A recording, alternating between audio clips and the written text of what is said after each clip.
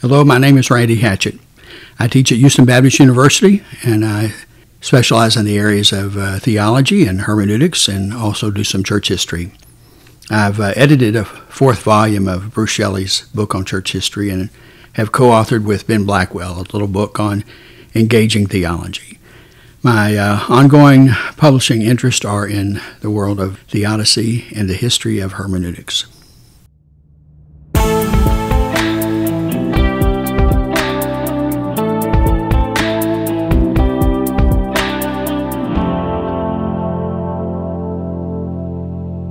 Dr. Hatchett, Randy, good to see you. Thanks for being with us today on Exegetically Speaking. Thank you. My good friend David Capes. We were reminiscing before. We have. Well, I've known you many, many years, many moons, as it goes. It's been some time, and It has and been. and good. Yeah. And we taught together at Houston Baptist University for 25 years, and I've learned a great deal from you oh, and with you God. along the way. So, how did you get started reading biblical languages? Well, for me, it began in college. I went to a good old Baptist college, Dallas Baptist University, and they soon uh, got me going on the sophomore year in in Greek, and uh, ended up doing two more years of Greek. And so, on the Greek side, I, I got a fairly good start. I didn't have a great foundation, but there was some real rigor when we got to grammar, and we worked through the old Dana and Mantey and diagrammed it and charted it and did flow flow charts and all sorts of things. And so I, I've got an early grasp of grammar and maybe its importance there.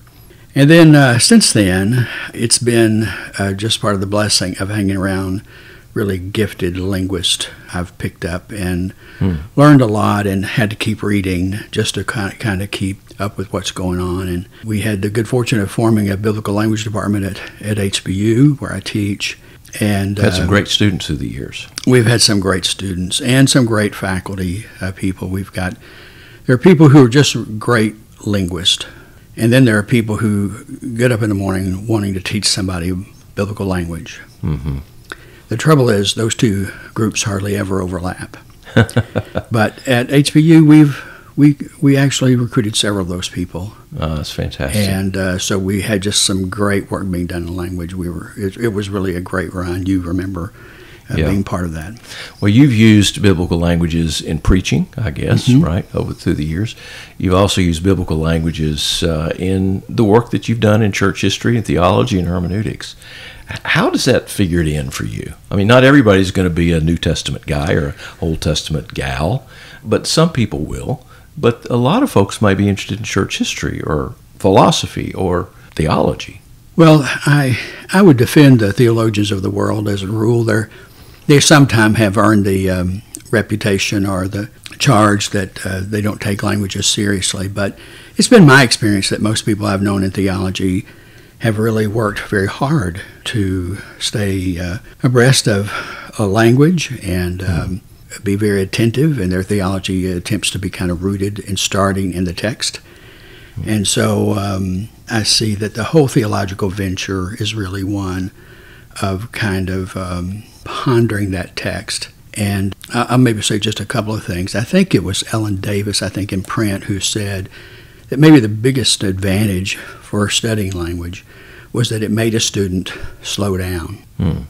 Now, they slow down for maybe not the right reasons exactly because they can't parse and they have to find what this word is and and they have to reference their grammar and so on. Uh, but they uh, inadvertently perhaps uh, enter into another mode where they start pondering these words Yeah. and thinking on these words, and that is the great kind of theological tradition. So I would say our age has divided something that in the ancient church belonged together much more seamlessly, but we've divided uh, questions, which makes this barrier between kind of language and theology as it's sometimes uh, kind of presented. And so I, I would describe it this way for you, David. I, I would say, you know, the old circle, common circle, is still the right way to understand things. You start with the economy, and then you, you form a loop and you start theologizing. You go to the theologia or theology. Mm. That, though, presses you back to reading the text again. And so you're constantly looping between these. Mm. And they're circular in nature. Now, the economy is just the unfolding drama as God has managed and conducted the history of the world.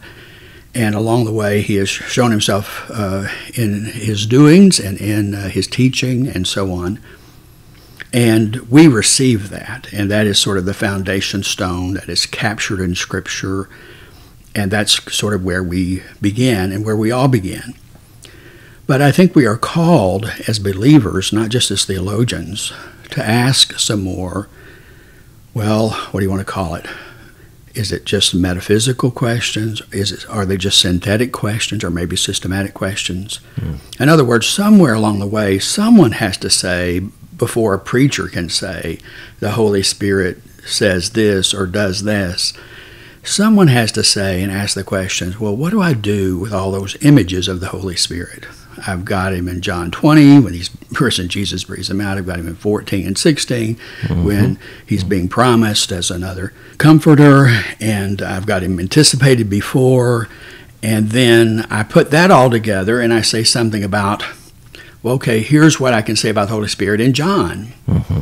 But that's a more global. It's a step back. It's a it's, it's a wider lens, I suppose you would say. Well, it's it's that which I mean, you're trying to reach out to pull all that in together, right? I mean, you're trying not necessarily yeah. to make it a system, but, there's but to understand yeah. the whole rather than the individual parts. There's a confidence that something can be said about it meaningfully. Mm-hmm. It's not just a disparate kind of incommensurable pieces. Mm. But that, that what John says about the Holy Spirit uh, can be spoken and captured and understood. Mm.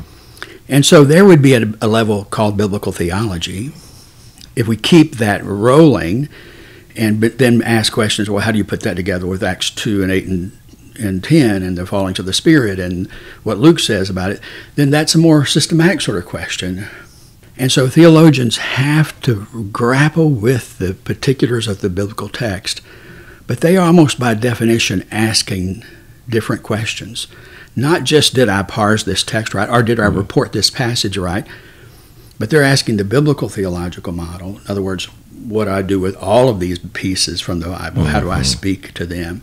And then maybe even the larger systematic mode, and that is you know, reading through tradition, which would start this way, reading as a Trinitarian. In other words, I'm a person who's been drawn by the Spirit, made alive by the Spirit, drawn toward God, where I can now, with His help, see in Jesus the image of God and understand who God is. And belonging to that great Christian tradition is the lens through which theologizing is done. Now, you came to some of those verdicts after mm-hmm. the Bible, mm-hmm. but yet they become crucial in reading to, to reading the Bible for Christians. Mm-hmm. And so there's always this back and forth, a careful, meticulous reading of the text for which grammar, linguistics is vital, uh, but also a theological mm-hmm. kind of reading, which by, I, I think, the demand of the Spirit – requires us to enter into this process of being drawn to the Father through the Son and the Spirit and being made alive to the centrality of Jesus and thus being informed as a reader. Hmm. So that theologizing and, uh, and the reading of the story are a constant circle. They always inform one another. Hmm important word about hermeneutics and about the particularities of these texts. Dr. Hatchett, thanks for being with us today on Exegetically Speaking. David, thank you. It's uh, always, always a pleasure to visit with you. Hey, thanks to Ian Rosine, Rebecca Larson, and John Lansma, who is our Wheaton based producer there. Our purpose in these podcasts is to promote the study of biblical languages. So if you get the calling, and I hope you do, the best thing you can do is go to Wheaton College. Got a great program there. We have some of the best faculty and best students all around. So go to wheaton.edu, look for modern and classical languages, get started today. If you have questions, contact us at exegetically.speaking at wheaton.edu. Till next time, thanks for listening.